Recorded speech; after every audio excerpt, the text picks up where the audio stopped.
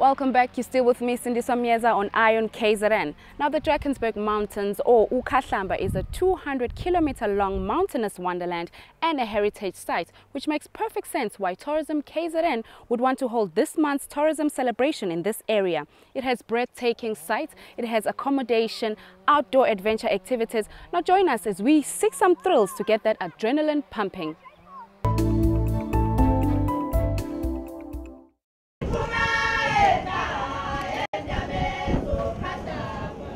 The largest part of the Drakensberg area falls in KwaZulu-Natal, combining sheer natural beauty with a wealth of biological diversity. The Ukhahlamba Drakensberg Mountains is also steeped in history. It has got rock art dating, carbon dating back to 2000 years ago. Of course, it's been declared a World Heritage Site, for which we are and will always be grateful.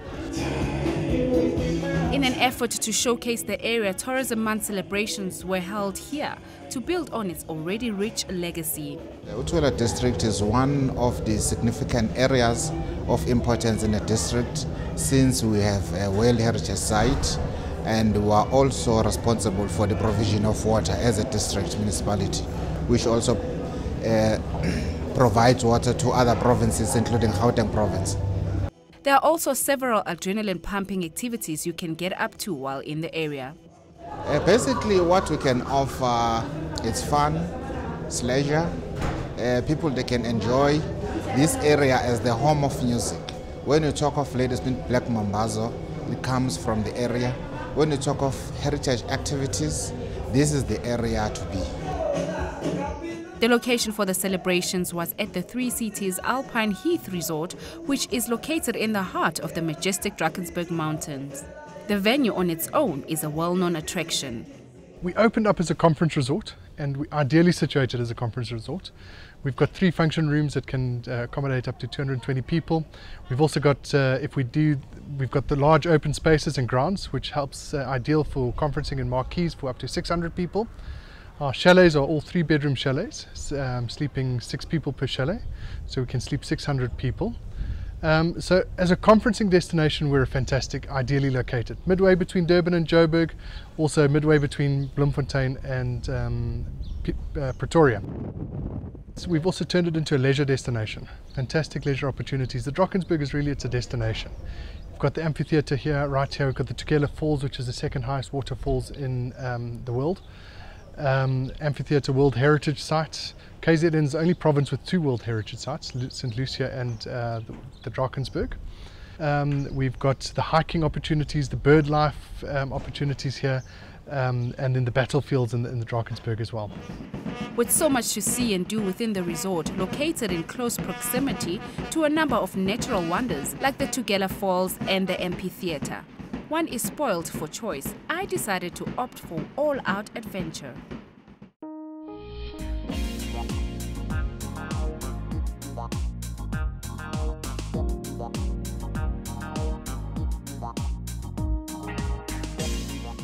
All Out Adventures is the biggest adventure center in this area it offers seven great activities all in one venue. A glimpse of the 20 meter spiral staircase as you step out of your vehicle will have you gasping in anticipation. All Out Adventures is here to give us a taste of what we can do when we're at the Drakensberg Mountain. Now people are getting ready to get on the zip line. I'm going to join them. I'm excited, also nervous, but you know what? It's fun.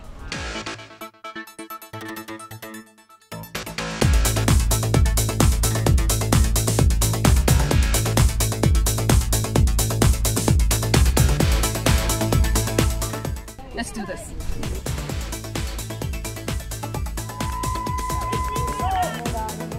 The zip line is a 175 meter cable slide to a treetop platform and another 125 meter slide back to the center.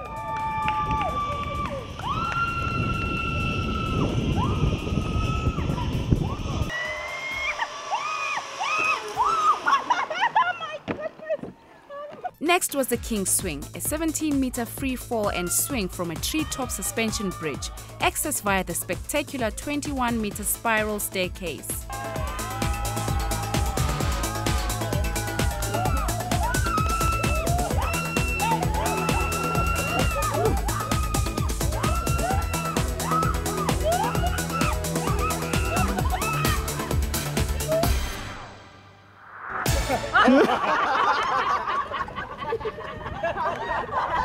Now that was crazy. I don't know if I'm able to do another outdoor activity today. I'm just a wreck.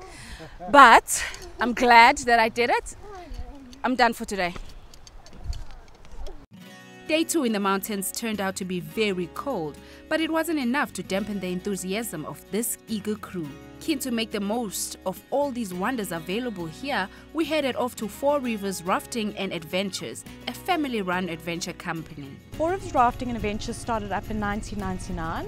Um, it's a small family based business. Um, and ever since then, we've just grown into something really big, which offers so many different activities. We offer mountain boarding, quad biking, river rafting, kloofing, uh, off-road Segway tours, zipline, paintball. So we have a lot of activities. Tell us about the reception. Um, when people come here, what do they get excited about? What do they want to do?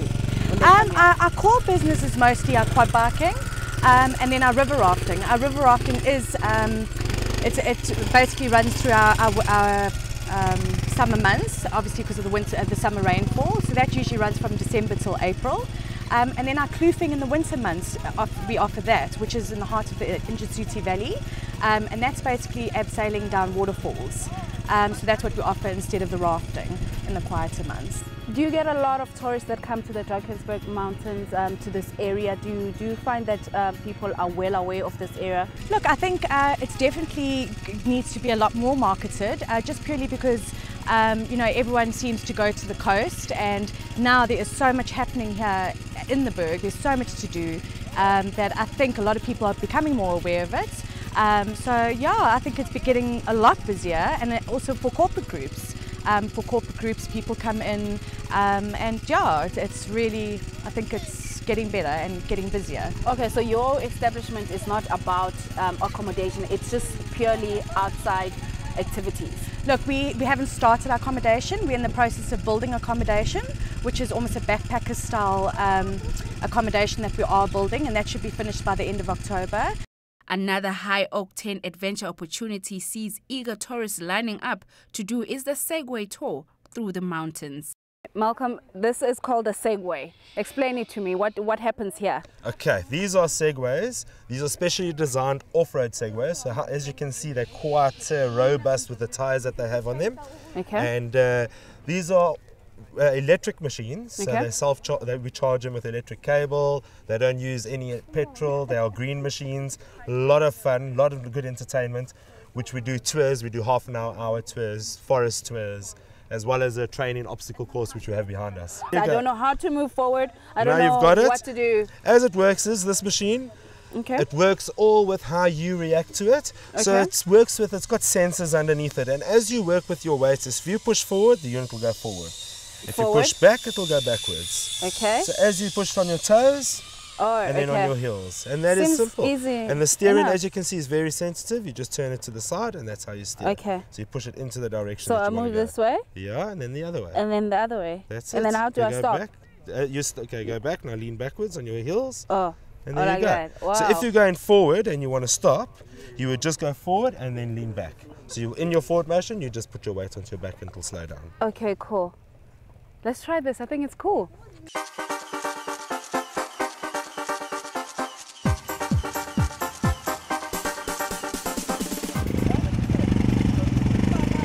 Biking through the mountains is the ultimate adventure dream, and that's exactly what we got up to on our third day in the Berg. Sani Pass Hotel has an extensive range of facilities to ensure non-stop fun and relaxation for all quad bike tours up to the famous Sani Pass depart daily from the hotel.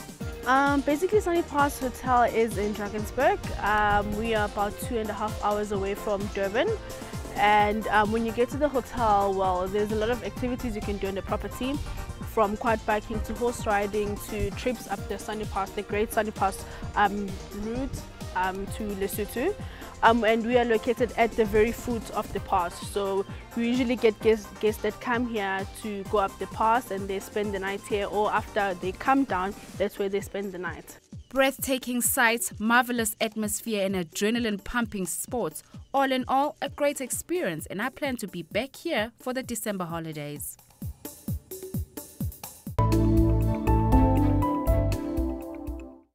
It certainly was food for the soul. I feel revived and rejuvenated. Next time you're in KZN, make sure you visit the mountains. But we've come to the end of our show. From me, Cindy Somyeza, it's goodbye.